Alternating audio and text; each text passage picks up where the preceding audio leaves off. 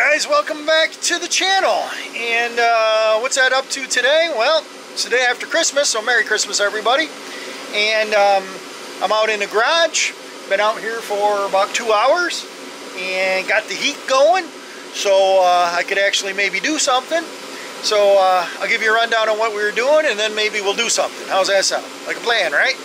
So first thing I want to do is show you what I got the temperature up to. So you can see there, maybe, it's almost 50 degrees. That's pretty good. And to do that, I've been working on my wood stove. So here's the old wood stove. It's fire, warm, warm fire. So anyway, um, that's working, but I know it's hard to tell because the jet engines are running, but there's a fan behind this stove. Actually, I can probably shut that one off anyway. You guys can hear that fan running back there. I'm not crawling back there because it's, well, it's hot. So, um, but the fan was an old bouncy house fan. Um, had a small squirrel cage, kind of like this, but small. Um, you know, maybe, uh, I don't know, 10 inches in diameter. And uh, plastic, I think, if I remember correctly, had a metal center in it. So it, the motor on that pooped out. And I picked this up from a buddy of mine. And uh, it's nice, see it works good, it spins good. But it takes a lot of power to get her going. And the pulley on it is about a 10 inch pulley and they do make like a 14 inch pulley so I could probably put that on there and make it work but I didn't want to do that um, so I took the old motor and the old motor had these cool little tabs and then it set down inside this metal frame and then there was a couple 10 millimeter bolts on each one of these tabs. See they're about 120 degrees apart. So I drilled those out and popped them off and I MIG welded them to the side of a plain old half horse motor that I had floating around in the in the hoard and stuck it all together and as you can hear it's been running for about three hours. Sounds good. I don't know if you can hear it but it sounds good. And it's not as loud as the old one which is nice. So um, if I'm not running this, I usually run this for just a little bit, you know, maybe an hour or two when it's real cold and then just let the stove keep up with it. You know, I do have insulation in the roof, but it's starting to sag and you can see a gap over there and there's gaps over there and yeah, yeah, I lose I lose some heat up through there. But like I said, it's about 50 out here right now. Um, so what else have I been doing? So I worked on my fan. Uh, I worked on, oh, I got uh, some rubber for the um, back window or windshields or whatever for the fork truck and maybe for the Mack. This is just that locking strip, one inch stuff. I got it for a Jeep. It was cheaper to buy this whole thing and there's, I don't know, maybe 10, 12 foot in there. And uh, I think I paid like three bucks a foot if I figured it out, which was pretty cheap. That was about the cheapest I could find it. But it looked like the exact same stuff. Uh, let's see what's going on here on the Big Mac. And not a lot here on the floor. She's still floorless. But I've been working up in the upper cab a little bit. I don't know if you guys can see, but I put some fiberglass in there. And uh, it's uh, my camera's doing weird stuff. Stop doing it if you're gonna blink. So anyway, um, yeah, so I put fiberglass in there. I put fiberglass over there on the inside. And um, so now I got a substrate to kind of build this, you know, radius art deco look, I guess we'll call it. Um, so then I did the back of the cab lose my helmet here, I know I am. Anyway, the back of the cab, what we did was we made a piece of metal here. You guys can see. So there's a piece of metal, it's folded over, so it's got a hem on the bottom. And then what it does is it comes over here to the sides, kind of morphs into what was still here. This was all rotted out. And then I just laid this on top and just welded down through. I didn't get real crazy about trying to butt weld it or anything like that. And then tiger hair, well, that's actually short haired. Uh, fiberglass over the top of that. And then what we'll do is we'll lay, lay some putty on top of that. I knocked some dents out down there. Um, the whole point of it is just to get it so it doesn't look totally rotted out. And we'll get it sanded down and puttied up. Got to do the same thing over here. I knocked a lot of the dent out of here, but there's still quite a bit of dent in there. So um, that's kind of the plan. Haven't really done much more with the engine, transmission mess. I did find a possible whole nother truck. Yes, sirree. Just what we need, another freaking truck. But um, it was cheap and it's got a lot better cab part than up here. You guys can see that's that's pretty crusty. And I'm having a hard time fixing that, trying to make a fold to roll in there. It's fighting me. So I might be able to cut the cab. I mean, everybody, oh, you could use the whole cab. Well, it's got its own issues. It's actually worse in other places, like the rockers and stuff are worse. So I'm really thinking I may just cut it. And it's got really good dome lights. Them babies are super expensive. Um, actually, the lights, if you were to buy them through Watts that are on that truck, would cost about what I'm paying for the truck. So so that's a no-brainer, if I can get the truck. I went and looked at the truck. I'll show some pictures. Um, I may even shot some video if I did. I think I did. I'll, I'll throw it in here. Well, guys, guess what? We're looking at another one. Ah, let's see. Okay, the inner fenders are missing. Supposedly it's got diesel. Yeah, there's the injection pump on it. Um, supposedly there's a tag. Can't quite see it. And might even be a, a number right in here. Something stamped. I can't make out what it is. Let's come back and take a picture of that side dogs. Got the Mack. Thermodyne. Cab looks worse than mine. The glass is well that glass is okay. It's not it's got bubbled in it but it's there. I doubt she'll turn over Got a Mack mirror on it. That's pretty good. Cab lights look really, really pretty good. Horn, got an air horn. Missing a thing, but we got one of those. Getting the door open could be a challenge. It's got the, the bench seat in it, which is kind of cool. I gotta get this door open. So they got a front axle shoved underneath the back of it with a block of wood. Well, that's pretty high-tech. I would say it's almost as short as a normal, my normal truck. Fuel tank ain't totally on the ground. It actually looks kind of better than the one I got.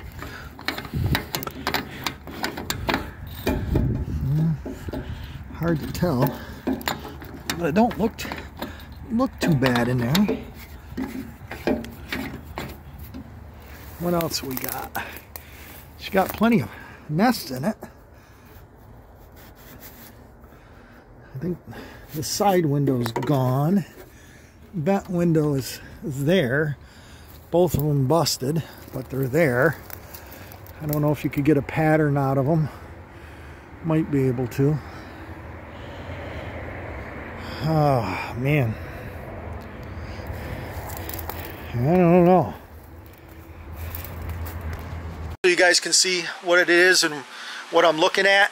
But um, the guy who owns it just stopped in out of a whim. He lives local, but the truck's not local. It's about a half hour away. And he said that uh, he'd, he'd sell it to me and, and uh, he was going to bring it up to his house, which is only five, ten minutes away, which is awesome. And then from there, we'll go about getting, uh, getting it down here and or getting it over to my buddy's junkyard probably and uh, going from there. So, uh, but no, I haven't done anything else to the Detroit. It still, still sits there. Um, at least it can move around if I roll the truck around. Transmission wise, I think I said, um, the, the, other truck's got a triplex, which would be kind of fun. Goes back to two sticks.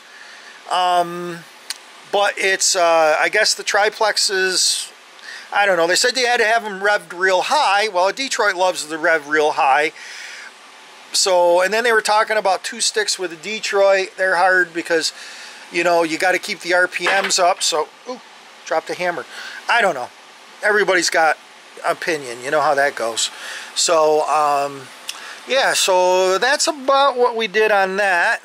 Oh, I'll show you some other stuff too. I'm not going outside because I'm, well, I got it warmed up in here.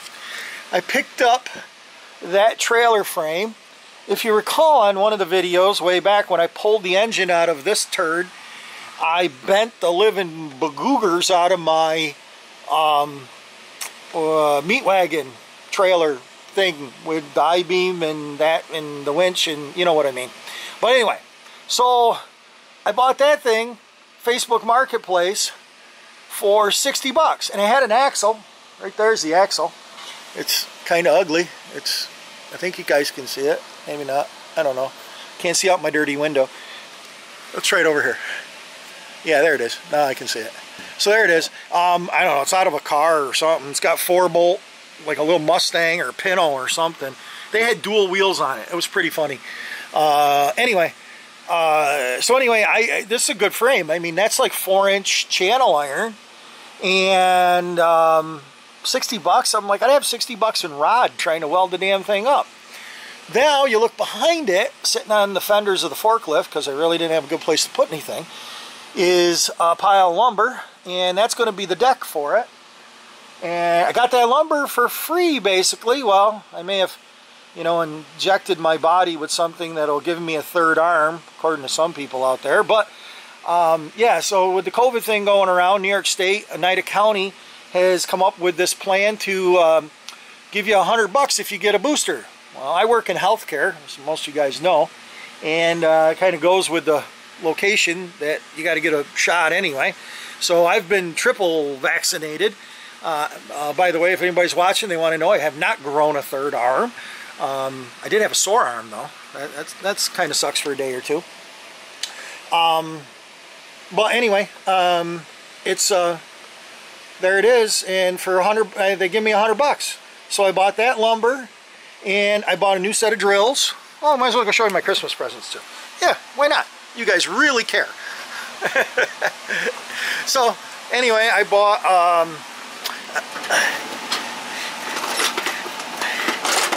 a new set of drill bits.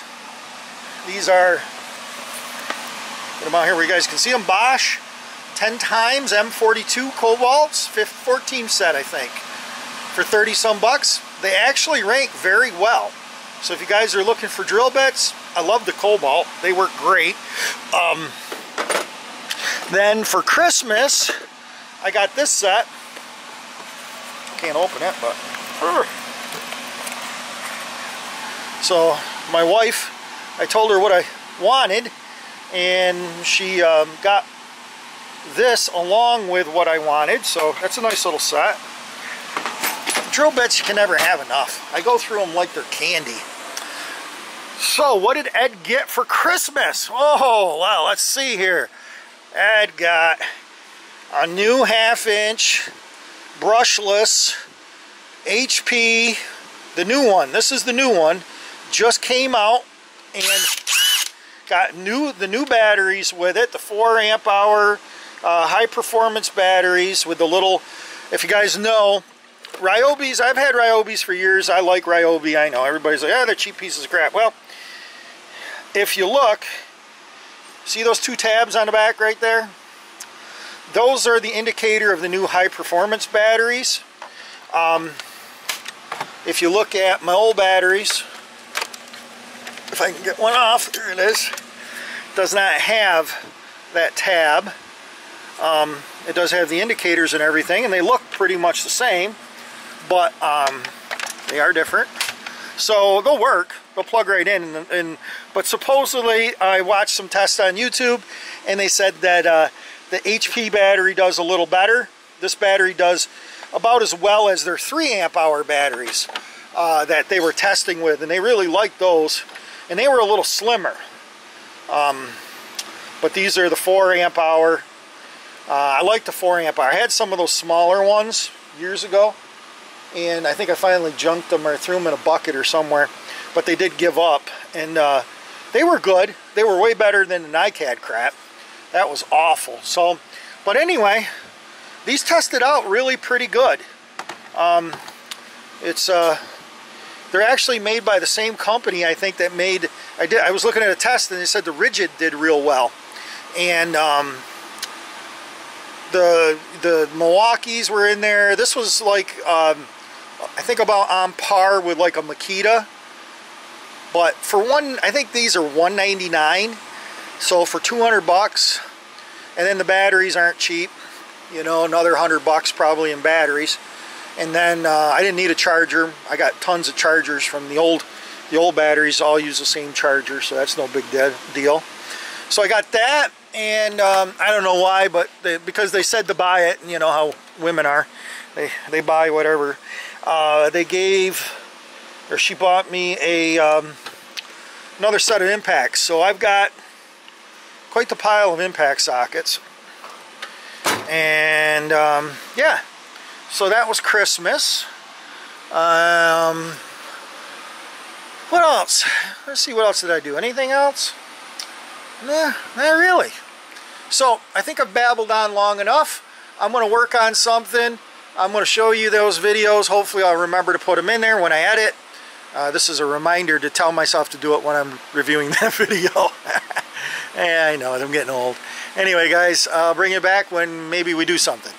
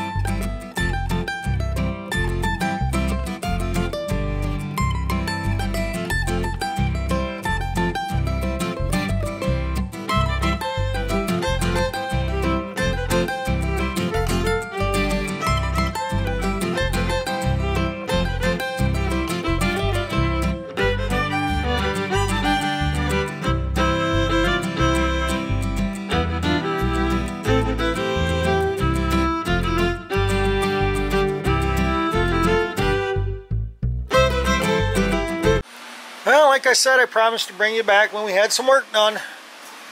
So, got a little bit done. Uh, still got some low spots, but this is smashed up pretty bad. The back of a cab of a truck is, you know, they take quite a beating.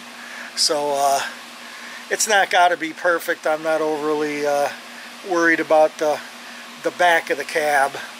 Um, I went around and actually I did up there too in the uh, the Art Deco triple stack. And went around onto this side brought it over. You can see here some of the fiberglass short hair coming through but that's okay. And uh, still needs to be sanded into this body line but I kind of roughed it in. Got it. So the body line's there. Then I went over here to this big old mess. This was all caved in. There were three big big grooves grooved across here. I knocked a lot of them out but I couldn't get them all out. Um, so put some putty up there. That was a little rougher than that side. So I had to really kind of lay it on that one. And uh, thick, thick and heavy. Kind of used my finger to smear it around a little bit. But uh, I think uh, we got a good start on that. Probably another good coat there. Definitely there's some low spots you guys can obviously see you know there's a dent there there was a dent there and there's a dent up there so so that'll do that and then I think it's low over here too so that's why when I was sanding it wasn't catching that and flattening it out off so with the DA the DA roughs it out pretty good as long as you keep it moving don't stand in one spot with it so uh, I know I'll probably put the flat board on it just to kind of see how bad it is, but like I said, I'm not going crazy with it. This thing's got Bondo. Everywhere you grind on the thing, there's you grind off some paint and you hit Bondo. So she got a lot. And uh, at some point we got to figure this mess out. Try to put some floorboards in it. Put the seat so it stays there. That other truck had a really neat um, I'll see if it's in the picture, but it has like a three-quarter bench. Has a big, a big seat on this side. Just, you know, not air ride or that's not really air. Well, it's hydraulic kind of with a shock absorber in it. That's a Bostrom seat I picked up free. Free's good, right? And, um, but yeah, so that's where we're at with that. So again, guys, thanks for watching, subscribing, commenting and uh, it is uh, again that's clock off so it's about 3:15 and uh, hope everybody had a good Christmas and if I don't talk to you have a happy new year and we'll catch you on the next one. Bye